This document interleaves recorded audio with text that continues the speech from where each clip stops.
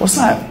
It's for you. It's a Build-A-Bear. That's for me? What is it? It's a Build-A-Bear. You got me a Build-A-Bear? Why? It's a voice message too in it. As a voice message? From your show where you said if someone got you a Build-A-Bear. Oh my god! So I did I did a TikTok one time where the girl in the audience was saying it was a red flag that a guy brought her a Build-A-Bear on a first date, and I had said in the video I was like I would love if somebody brought me a Build-A-Bear. So you brought me one? Yeah. I got to do more jokes about getting my dick sucked. I really gotta.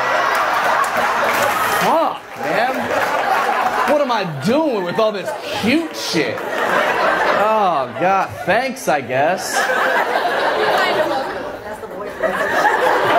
This is so sweet. Thank you. Oh, your numbers are on here. Am I still happy? Am I still happy?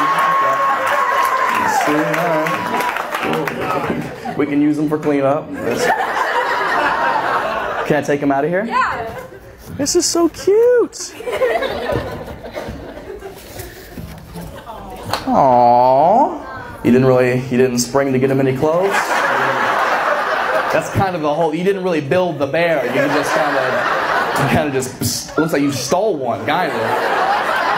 There's a voicemail one. Yeah, you press his paw. Press the paw.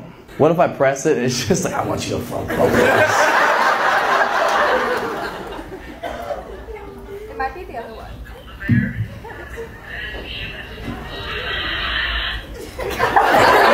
That sucks. I can't lie. That's um, that's uh, it's not incredibly audible, but it's a thought that counts. Thank you so much. This is this is one of the, the sweetest, laziest gifts anyone ever.